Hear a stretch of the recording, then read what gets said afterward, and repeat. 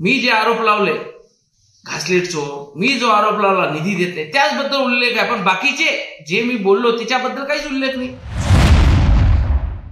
मी वृत्तपत्रामध्ये किंवा इलेक्ट्रॉनिक मीडियामध्ये जे माहिती दिली जे माझ्यावर आरोप लागले त्याचं मी खंडन केलं.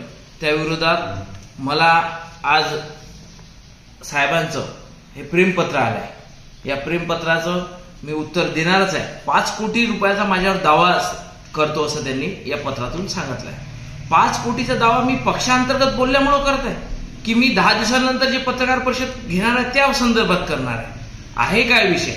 या पूर्ण नोटीसमध्ये मी जे आरोप लावले घासलेटचो मी जो आरोप लावला निधी देत नाही त्याचबद्दल उल्लेख आहे. पण बाकीचे जे मी बोललो त्याच्याबद्दल काहीच उल्लेख नाही. म्हणजे ते मान्य आहे का?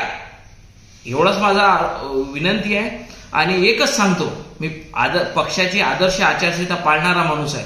फक्त एवढं शेवटचं जाता जाता सांगतो की झुकेगा नाही साला. मिटकरी साहेबांना नेमके काय काय आरोप झाले तेव्हा? मिट तुमच्याकडनं?